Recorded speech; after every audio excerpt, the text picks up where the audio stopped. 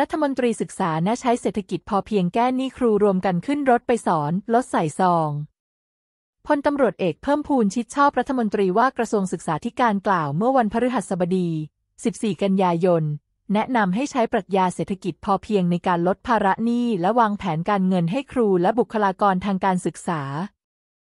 ส่วนอีกเรื่องหนึ่งที่เกี่ยวกับการลดภาระของครูและบุคลากรทางการศึกษานะครับ คือการแก้ไขปัญหานี้ของครูและบุคลากรทางการศึกษานะครับ เรื่องแรกก็คงจะต้องเราก็คงจะต้องมาทำความเข้าใจกันนะครับก็คือสร้างความเข้าใจให้ถูกต้องในการวางแผนการใช้เงินที่อาจจะต้องมีการให้ความรู้ ซึ่งอาจจะตรงนี้อาจจะต้องในส่วนของเราเอง หรืออาจจะต้องหาวิทยากรภายนอกมาทำสื่อการเรียนการสอนสอนมาแนะนำเขาในการที่จะรู้จักออมรู้จักการใช้เงิน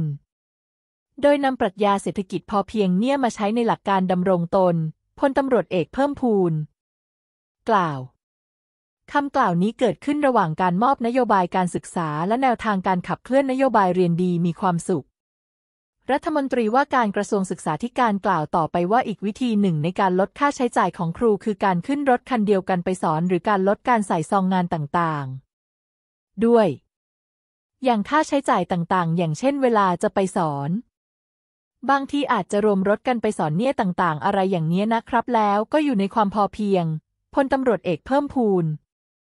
กล่าว จะไปงานแต่งงานงานไหนก็ต้องใส่ 200 บาท ตำรวจโชคดีหน่อยตำรวจใส่ 20 บาทก็ได้ไม่เป็นไร เพราะเขาไม่ได้เรียกคุณครูเป็นตำรวจธรรมดาเนี่ย